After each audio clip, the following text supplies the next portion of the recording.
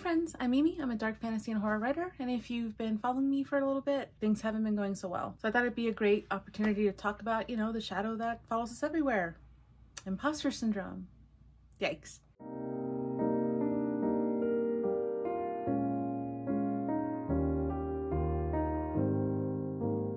this particular one hits me incredibly hard and it's something that I had to be mindful of since it can make me really feel destroyed and some parts me feel like I shouldn't even create this video in the first place. Go figure. Just a disclaimer before we go on. I am not a mental health professional. I am a long-time mental health patient. I've been through several therapists, years of misdiagnoses, tried all these types of different medications. I've heard it all. So while I can't speak to your specific disorder that is impacting your thinking, I'm hoping that my experiences with depression, with anxiety, and with worse than any of those will help anybody feel heard. So let's get to business. What is imposter syndrome? A lot of interpretations define it as the feeling that you're unworthy or undeserving of your successes or accomplishments or any praise given. It's the feeling that you are not who you say you are but you're a fraud. It's the fear that if they see the real you, then they will see that you don't deserve these accomplishments. I actually have a little tiff with this definition. I personally don't believe that it comes with only perceived success. I think it can certainly come about when you're not achieving success, when you're convinced that your lack of success is proof that you're a fraud, and when you feel like you can't compete with other people. It can come when you're trying something new and you feel unqualified. You're a fraud from day one. How dare you think you can write a book, let alone convince people that they should buy it you're not a real writer, etc., etc. Where does it come from? Anywhere really. Somebody told us we weren't good enough at something. Your art teacher painted over your work in order to fix it. Your mom when she said your B's weren't your A's. Someone told you you didn't belong here. Because in the field we're in, it's so heavily based on critique. We are constantly being critiqued. You are targeted by your own career path. Congratulations. It could even be a defense mechanism. That's right. You're not comfortable with hyping yourself up. So your imposter syndrome is a method to keep you grounded in case the avalanche falls. Here's the problem. It will not go away with any form of success because then you wonder why the fuck you're being applauded. And it still haunts some of the biggest writers out there. Here's what Maya Angelou said. Yes, the Maya Angelou. She said, I have written 11 books, but each time I think, uh-oh, they're gonna find out now. I've run a game on everybody and they're gonna find me out. Neil Gaiman almost echoes her words exactly. He says, I was convinced that there would be a knock on the door and a man with a clipboard would be there to tell me it was all over, that they've cut up with me, and that I would now have to go and get a real job. Personally, my fight with imposter syndrome is almost always a losing one. I'm always haunted by questions about whether I'm good enough to handle anything. The easy way out is to just quit, but I never take the easy way out. And while I was like researching methods to fight imposter syndrome for this video, I've picked on a few that have helped me personally get out of that headspace, at least temporarily. The first thing, trust. The Latin roots for the word confidence means to trust. Acting with trust sounds exactly like what it means. It means to take a leap of faith. So if you are willing to take steps towards your goals, you are doing so with the uncertainty of where you're going to end up. You have to do so with courage, with competence, with self-compassion. That's the real meaning of confidence. You know what they say about writing, trust the process. Number two, stay connected to your work.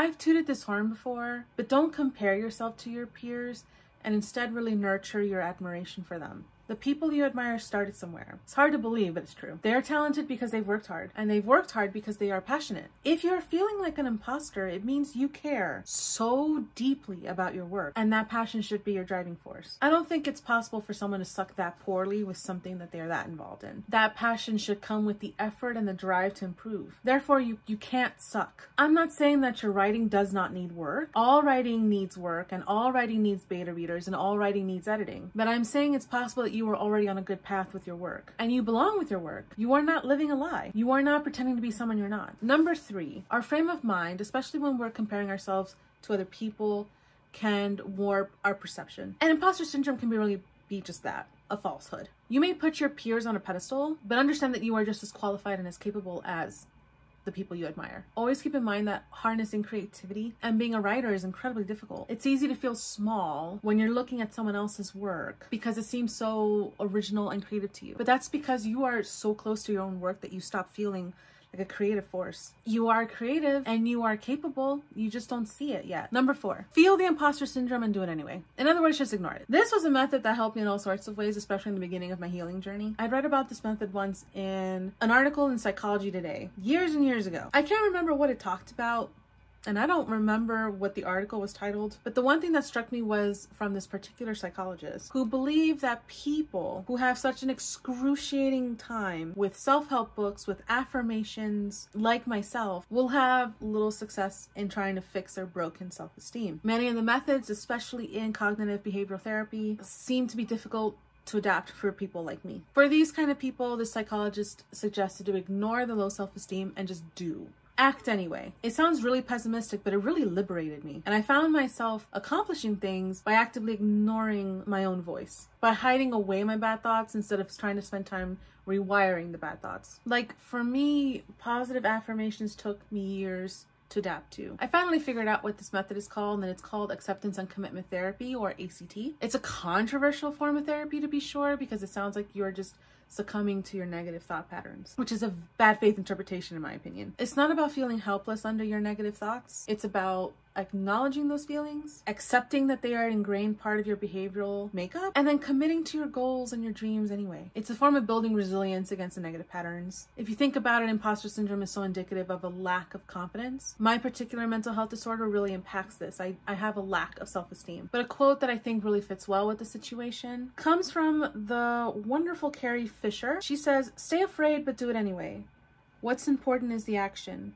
You don't have to wait to be confident, just do it and eventually the confidence will follow. Number five, remember that you still have something to offer. The time you've already put into your work matters even if you don't think it does. It means you are learning and are still learning. If you're a total beginner, get started on the learning. Eventually you will have two years of experience. Don't worry about the other writer who seems better than you. They may have just more time and experience. They don't invalidate you and it doesn't make your perspective or your work worthless. That's like saying a therapist with two years of experience is not helping her patients as well as the one with 10 years. Number six, stay hopeful. Remember what I mentioned before about building trust and taking leaps of faith. Hope is a driver for human potential. It's about reconnecting with your inner child and the joy that you mind from embarking on your writing journey. Hope keeps us focused on where we want to go and the accomplishments we want to have. Hope allows us to see better opportunities coming our way, and hope allows you to stay connected and authentic to your own writing. Number seven, Remember, you are not pretending to make art. That's not even possible. If you are making art, you are making art. You cannot pretend to be writing if you're writing a book. You are literally doing exactly what you set out to do. So don't lie to yourself. Number eight, talent is an illusion. Even the greatest of minds needed practice. Those child geniuses, they practiced. The common thought is that talent means that it came easily to the artists we admire, which is not necessarily true. Sure, some things come easier to some than others, but all artists at some point have broken down and wondered if they were up to the task. Victoria Schwab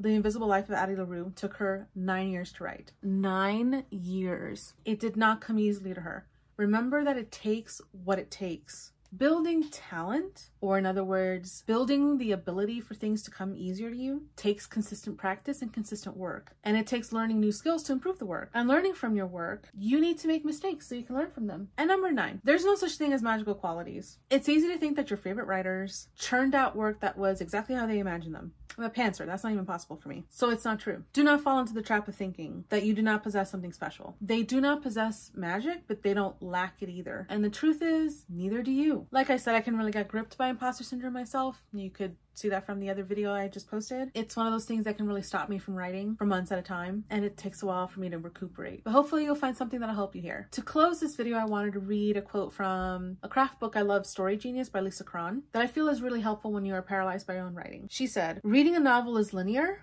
but writing one is not. And that, my friends, is the end of that. If you got questions, if you got requests, jot them down in the comments below. A little like button goes a long way for me since I'm so small. You can also follow me on social media. I'm at Mirav Levy Writes everywhere. You find all my links below. I want to hear your perspective. What do you tell yourself to help your imposter syndrome? And do you have a really hard time with it? All right, I'll see you next time. Take care.